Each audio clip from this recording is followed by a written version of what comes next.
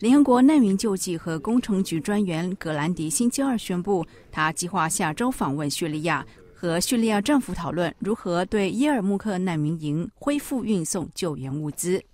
联合国对难民营的人道救援在大马士革爆发冲突之后暂时停止。星期二是暂停运输救援物资的第十一天。格兰迪和阿拉伯国家联盟秘书长纳米勒阿拉比在开罗见面之后，告诉路透社，局势变得非常严重。下个星期，我将亲自到叙利亚和叙利亚政府讨论这个问题。我们希望，也相信救援物资必须恢复运送，因为目前的局势实在非常危急。联合国人员在地面所运送的包裹可以让一个有八口人的家庭维持十天。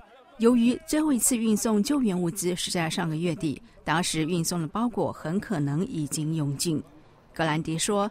会谈对于确保救援人员能够安全执行任务是必要的。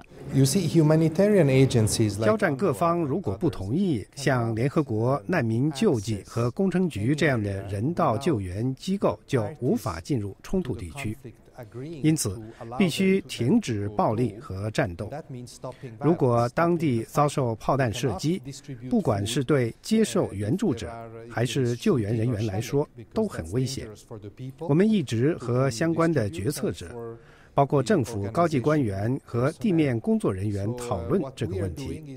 当地爆发的冲突通常非常激烈。联合国难民救济和工程局从一月中旬以来，已经对伊尔穆克难民营运送了六千个食品包裹，远低于连月来饱受饥饿的一万八千名居民所需。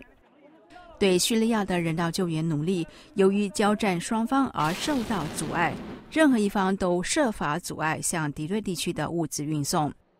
营养不良导致死亡和生病的人数不断上升。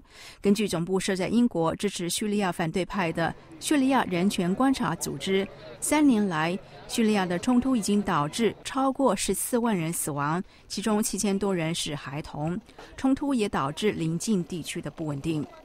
联合国难民救济和工程局是联合国负责近东地区救济巴勒斯坦难民事务的机构。耶尔穆克难民营在一九五零年代后期成立于大马士革的郊区。以上是 VOA 卫视的电视报道。